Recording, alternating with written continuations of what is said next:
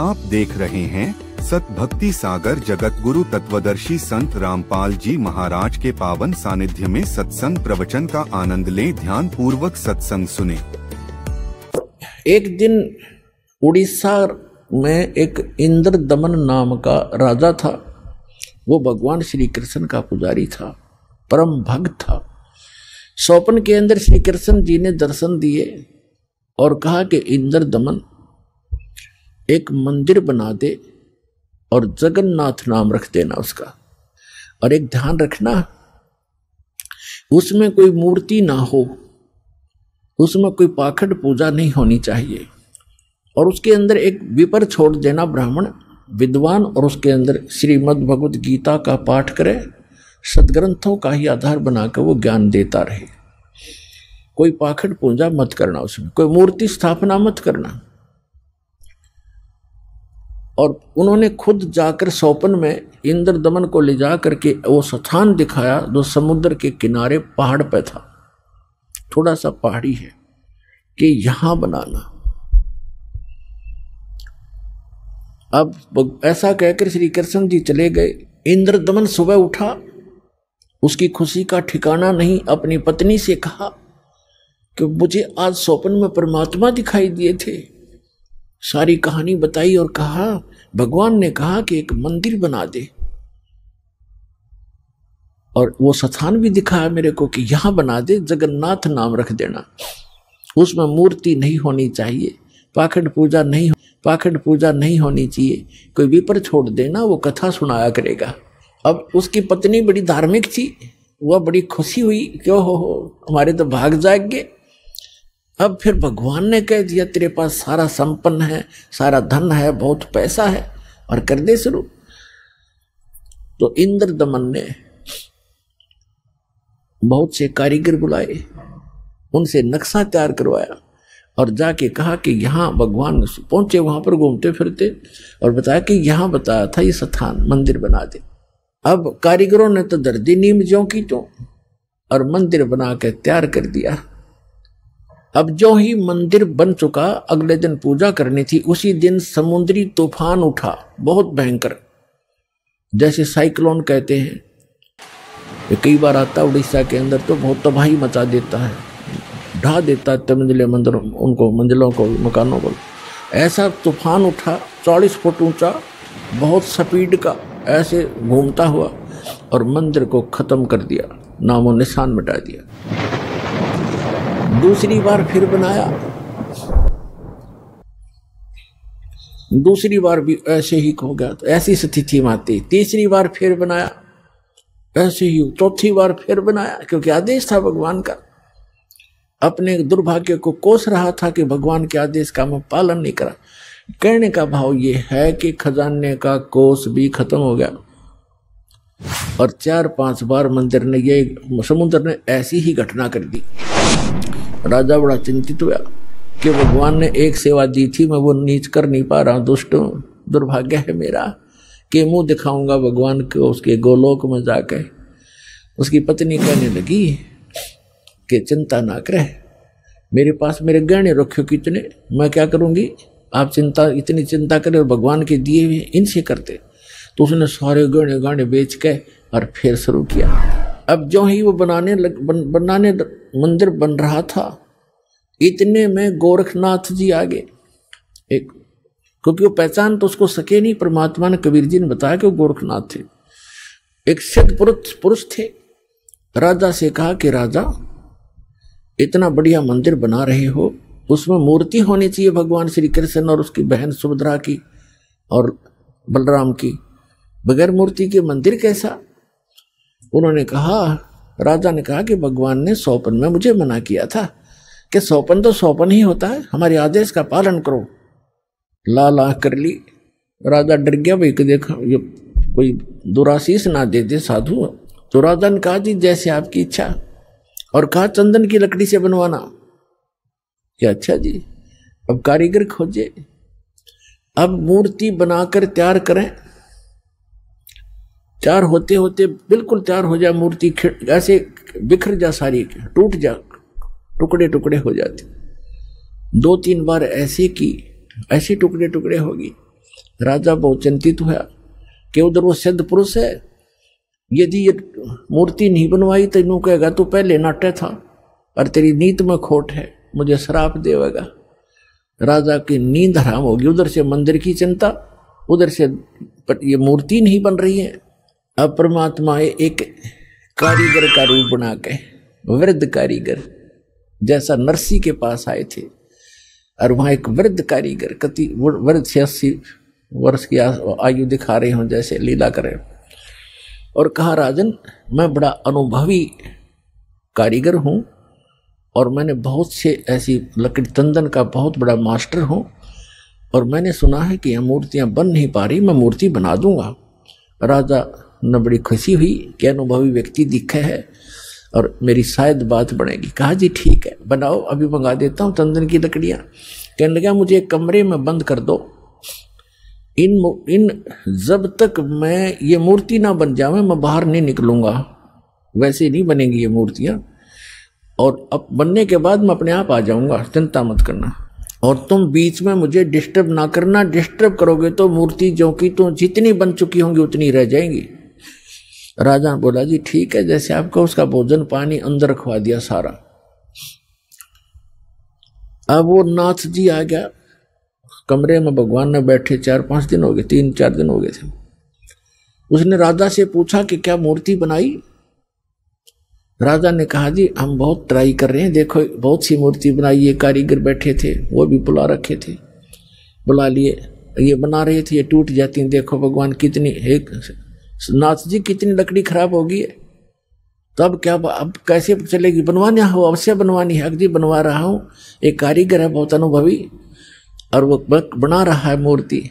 तो नाथ जी ने कहा, मुझे दिखाओ पहले। बनने के बाद उसमें कोई डिफेक्ट होगा? अभी तो जल्दी मंदिर तैयार होने वाला है, फिर रखनी पड़ेगी। कोई डिफेक्ट होगा तो मैं ठीक करवाऊँगा। ऐसी ऐसी वैसी मूर्ति थोड़े रखने दूँगा। तो उन्होंने बताया जी कारीगर ने कहा कि जब तक मैं मूर्ति नहीं बनेगी, मैं बाहर नहीं आऊँगा। और बीच में तुमने मुझे छेड़ दिया तो मूर्ति वहीं की वहीं रह जाएँगी। नाथ जी कहने लगे, ऐसी कोई बात है? खुलवाओ दरवाजे को। अब खटाखट, खटखट करे।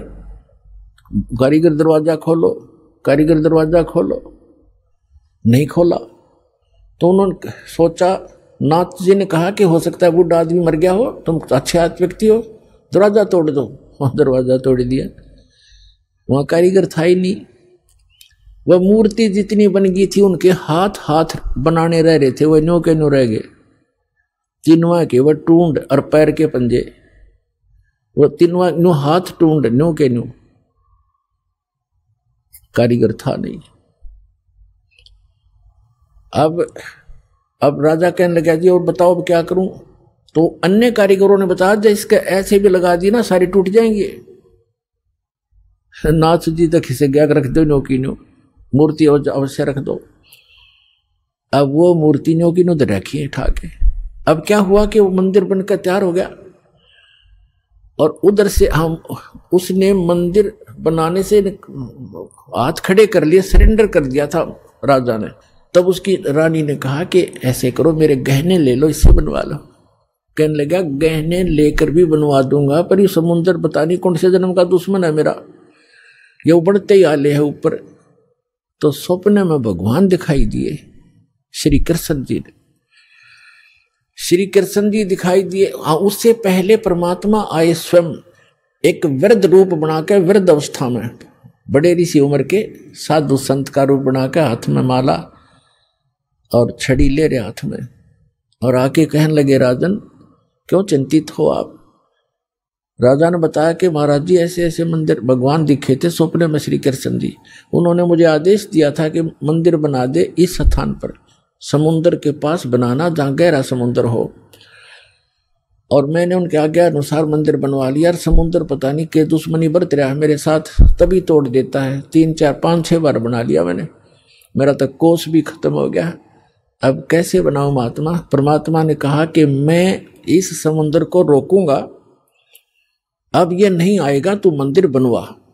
उसकी पत्नी ने फिर सहारा दिया कि मैं गहने दे दूँगी, अब बना लो। लेकिन इंद्र दमन राजा की हिम्मत नहीं पड़े थी। उसका दिल टूट चुका था। एक दो में घटना हो जाए आदमी, उसी में दिक्कत में बहुत चिंतित हो जाता। है तो सपने में श्री कृष्ण दिखाई दिए। या खेल सारे मालिक के ही थे। आप बना कृष्ण रूप बनाया। और कहा कि इंद्र दमन जो महात्मा तुझे कल मिला था वृद्ध, इसकी शक्ति का कोई वार पार नहीं है। आप इसको खोज कर इसके चरणों में प्रार्थना करना और ये समुन्द्र रोक देगा। आप इसकी बात पर विश्वास करना। अब इंद्र दमन सूता उठते, अपनी पत्नी से सुबह उठते, कहा अपनी पत्नी से कि ऐसे ऐसे श्री कृष्ण जी दिखाई दिए थे। फिर एक महात्मा कल दरबार में आया था और वो बता के गया था कि मैं वहाँ रहता हूँ। लेकर सैनिकों को, बॉडी गार्डों को, अपनी पत्नी को साथ लेकर। देखा वो तो बैठे, वो तो इंतज़ार कर रहे थे, माला ले रहे हाथ में, एक लीला कर रहे थे, चरणों में मत्था टेक्या और कहा, भगवान, हम, आप समुद्र रोक दो मैं बना दूँगा मंदिर। परमात्मा ने कहा कि एक पुतरा बना दे, चौरा। चौरा कहते हैं, हम यहाँ चबूतरा कहते हैं। ये समुद्र, जिधर से समुद्र उठकर आता है, उस किनारे पर, समुद्र के किनारे पर एक चौरा बना दे, चबूतरा। वहाँ बैठ कर मैं भजन करूँगा भगवान का। वो तो लीला कर रहे थे। भगवान का तो मंदिर टूटने लग रहा, भगवान ना बचा पा रहा, जिसको हम भगवान मानते थे। तो परमात्मा बोले, ठीक है। चबूतरा तराश का पत्थर बड़ा बढ़िया वो बना दिया चबूतरा चौराक बोलते हैं उसको। और वहाँ परमात्मा बैठ के माला लेकर एक वो समरणी ऐसे समरणी होती है, ये एक हाथ सारा लेकर बैठ जाते हैं उसको, फावड़ी सी बोल रहे हैं उसको। वो साथ में लेकर बैठ गए। मंदिर बनकर तैयार हो गया। कति और मूर्ति उधर से मालिक ने बनाई दी थी वह। समुद्र एकदम उठा, चालीस फुट ऊँचा, और तूफ़ान का रूप धारण किया, और परमात्मा ने ऐसे कर दिया। अब जहाँ वो था, समुद्र वहीं रुक गया, इतना वेग से आ रहा था। वो पानी ऐसा रुक गया जैसे पहाड़ बन जाता है। ना नीचे जावे ना ऊपर, ना आगे न सरका वहीं खड़ा हो गया। इस जल स्रोत का एक देवता है, उसका नाम समुद्र है। वैसे वरुण नाम है। वरुण के अंतर्गत एक समुद्र नाम का अन्य असिस्टेंट है। तो वो समुद्र आएगा, वहाँ पर विपर रूप धारण करके। और कहा, भगवान मुझे जाने दे आगे, यानी चलने दे मेरे जल को जो मैंने आज्ञा दी है इसको। जो मैंने आज्ञा दी है इसको इसको जाने दो दल को आगे। परमात्मा ने कहा, क्या करेगा तू आगे जाकर? कि इस मंदिर को तोड़ूँगा? परमात्मा बोले कि ये ऐसा वैसा मंदिर नहीं है, इसमें कोई पूजा, इसमें कोई पाखंड पूजा नहीं चलेगी। इसके अंदर कथा करा करेंगे भगवान की, और कोई ऐसा वैसा मंदिर नहीं है जिसमें किसी को भ्रमित किया जाता हो। और एक भवन है भगवान का। यह कथा होती है, इसको मत तोड़ तू। मंदिर को तोड़ा नहीं करते। तो वो कहने लगा, नहीं, मैं अवश्य तोड़ूँगा। परमात्मा बोले, जा फिर तोड़ दे। जा, तोड़। कहने लगा, मैं आपकी शक्ति के सामने मैं निष्क्रिय हो गया हूँ। आपसे अर्ज़ करता हूँ, आप हट जाओ रस्ते से। अक नहीं, अब नहीं हट सकता, मैंने वचन दे रखा है। तू क्यों तोड़ता है इसको? तेरे, क्या दुश्मनी है तेरी इसके? मंदिर के साथ। तब समुद्र ने कहा कि जब ये श्री कृष्ण ये जगन्नाथ श्री राम रूप में था इसने मेरी बेजती करी थी। इसने मुझे डरा धमकाया था अग्नि बाण दिखाया था मेरी इंसल्ट करी थी उसका बदला लूँगा इस, इसको खत्म करूँगा नहीं बनने दूँगा इसका यहाँ पर। तब परमात्मा ने कहा कि देखो इसको तो तू तोड़ नहीं सकता तेरी में हिम्मत है तो तोड़ दे। फिर कहने लगा जी मुझे कोई विकल्प बताओ मेरी इज़्ज़त रह जाए। कहने लगे जाके उसकी द्वारका को डुबोले वो खाली पत्थर खाली पड़ा है। और यहाँ आसपास भी आ, नहीं आ जाना एक मील दूर भाग जाए यहाँ से तेरी खैर नहीं अगर फिर भी तो दोबारा इधर आ गया था। आज प्रमाण है जगन्नाथ के मंदिर को दास देख कर आया था सिर्फ़ कुछ भक्तों को साथ लेकर ये देखने के लिए कि वास्तविकता है क्या। वहाँ पर कबीर पंथियों द्वारा सुरक्षित वो चौरा स्थान वो चबूतरा भी है वहाँ एक अच्छा मकान सा बना रखा है, उसके ऊपर एक मंदिर सा बना रखा है, यादगार बनाए रखने के लिए। और उन्होंने भी यही कथा सुनाई कि यहाँ बैठकर भगवान श्री कबीर परमेश्वर जी ने समुद्र रोका था। मंदिर वहाँ से लगभग डेढ़ किलोमीटर दूर है। इतनी दूर समुद्र हो गया वहाँ से। तो उधर से द्वारका को समुद्र ने अपने अंदर समा लिया, उसका खत्म कर दिया द्वारका भी। अपन आत्माओं ये कथाएँ हमने जो रियल ज्ञान था, सुना नहीं था। और इन हमारे धर्म गुरुओं ने हमारे को लोक वे दंत कथा सुना रखी थी, हम मूर्ख बना रखे थे। हम रंग दिए उस झूठे रंग में। अब सच्चे ज्ञान को सुनते सुनते हमारी जो है ना, मन कई बार बगावत करता है, फड़कता है, लेकिन कहाँ तक फड़केगा? आखिर में टेकना पड़ेगा इस मन को। क्योंकि अज्ञान से ये उस रंगा था तो ज्ञान इसके अंदर अब समा जाएगा तो ये अपने आप सेट होगा।